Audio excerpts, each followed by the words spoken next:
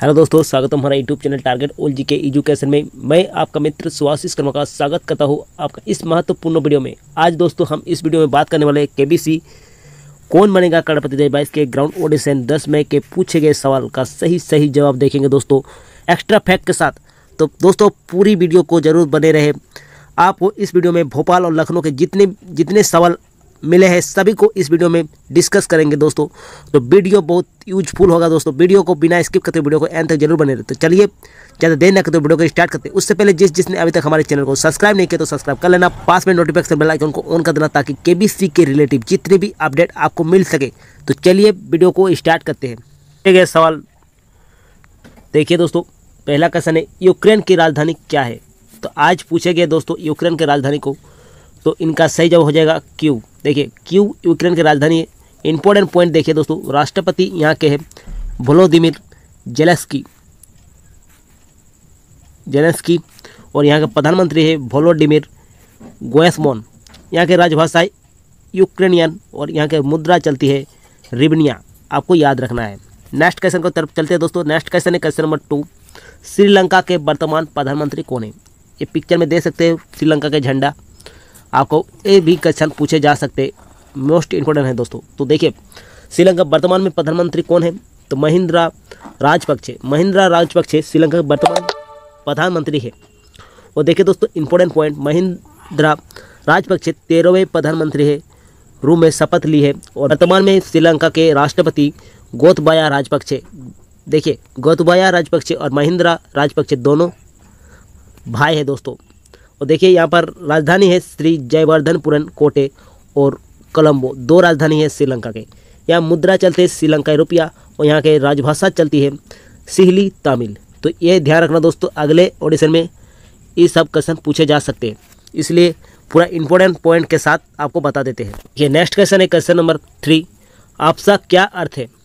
तो देखिए, इनका अर्थ है, सही जवाब हो जाएगा the armed force special power act 1958 important point देखिए, पैंतालीस साल पहले भारतीय संसद ने अप, अस्पा, यानी armed force special power act उन्नीस सौ अठानवे को लागू किया गया, जो एक फौजी कानूनी है, जिसे डीप क्षेत्रों के लागू किया जाता है। ये कानून सुरक्षा बलों के सेना और कुछ विशेष अधिकारी देता है। तो ये इंपॉर्टेंट पॉइंट को ध्यान रखना दोस्तों।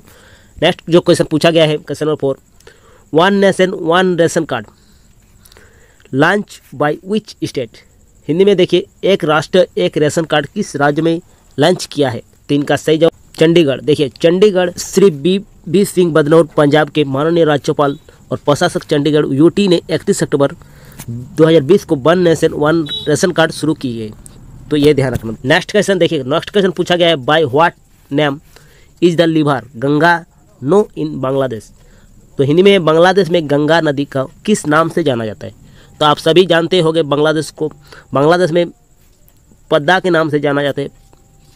तो इनका सही जवाब हो जाएगा पद्मा नदी। देखिए इंपॉर्टेंट पॉइंट देखिए दोस्तों, बांग्लादेश में गंगा को पद्मा के नाम से जाना जाता है। पद्मा नदी ब्रह्मपुत्र के सबसे बड़ी सहायक जमुना नदी से गुजरते हैं। और फिर दोनों मिलकर मेघना नदी बनती है। ये आमतौर पर दक्षिण पूर्व में बहती है। नेक्स्ट जो क्वेश्चन पूछा गया है, जून मभी का लीड एक्टर का नाम क्या है? देखिए, जून फ़िल्म के अभिनेता का नाम क्या है? तो इनका सही जवाब हो जाएगा अमिताभ बच्चन जी। देखिए, अमिताभ बच्चन जी जून फ़िल्म का मुख्य अभिनेता के रूप में किरदार किए हैं। देखिए, यहाँ पर देखिए इंपॉर्टेंट पॉइंट देखिए दोस्तों। निर्देशक नागराज मंजूरे, द्वारा निर्मित भूषण कुमार और किशन कुमार, कृष्ण कुमार और संदीप सिंह ने निर्मित किया है। Next question question number seven देखिए, पूछा गया है, आज के ऑडिशन में पूछा गया है which state became the first steel road of India.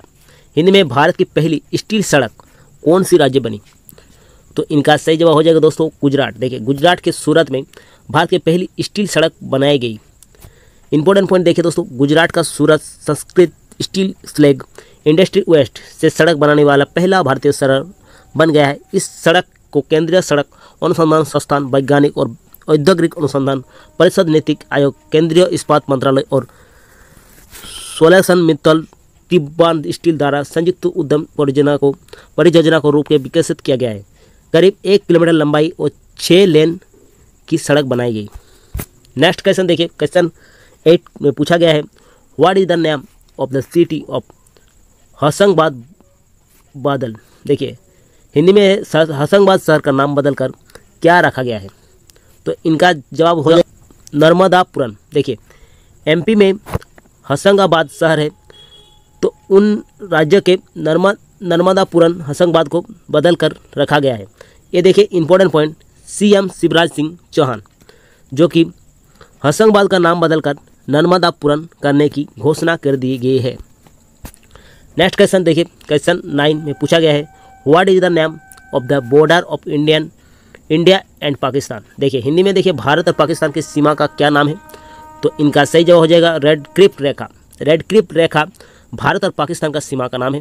वो देखिए, पूछा जा सकते हैं आपको नेक्स्ट में, नेक्स्ट ऑडिशन में आपको पूछा जा सकता है इंडिया और चाइना का बॉर्डर का क्या नाम है।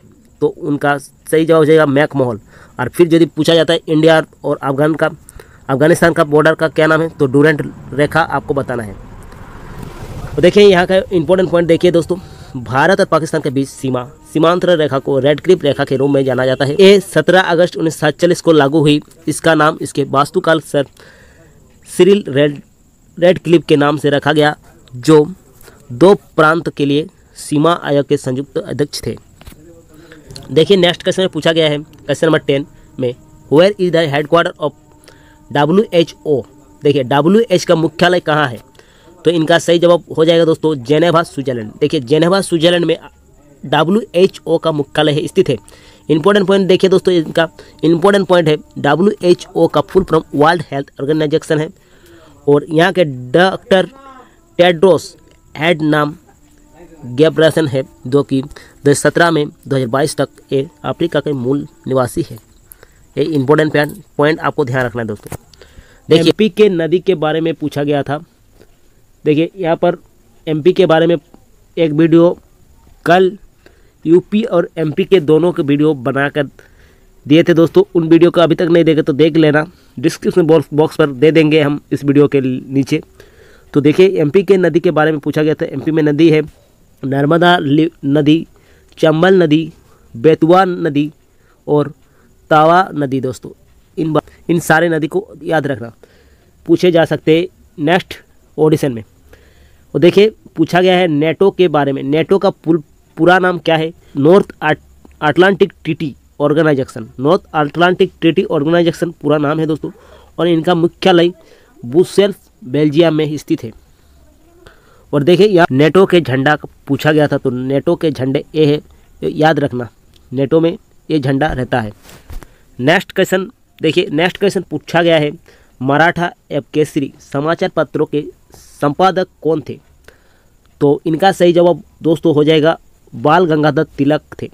तो बाल गंगाधर तिलक मराठा के केसरी समाचार पत्र के संपादक थे। फिर नेक्स्ट पूछा गया है दोस्तों, देखिए यूरोपियन संघ का झंडा। तो मोस्ट इम्पोर्टेंट है दोस्तों यूरोप यूरोपियन संघ के झंडा। देखिए, यहाँ पर दिया हुआ है यूरोपियन संघ झंडा। देख लीजिए, आपको नेक्स्ट ऑडिशन में यदि पूछा जाता है तो आपको बताना है। फिर देखिए नेक्स्ट क्या पूछा गया है। देखिए, फिर पूछा गया है आसाम के मैप। आसाम के मैप के बारे में पूछा गया है, आसाम का मैप देखिए। भारत के पूर्व में स्थित है आसाम। और आसाम के मैप देखिए, यहाँ पर दिया हुआ है। आप लोगों को पहचानना है आसाम का मैप। तो देखिए, सभी राज्यों का मैप आप ध्यान से देखिए, कहाँ पर क्या है। तो आप लोगों को सभी पता चल जाएगा। तो दोस्तों, ये थे के बी सी ग्राउंड ऑडिशन दस मई के पूछे गए सवाल का सही सही जवाब। तो नेक्स्ट वीडियो में मिलते हैं दोस्तों, यहीं पर एंड करते हैं वीडियो को। तो तब तक के लिए टाटा बाय बाय जय हिंद, जय भारत।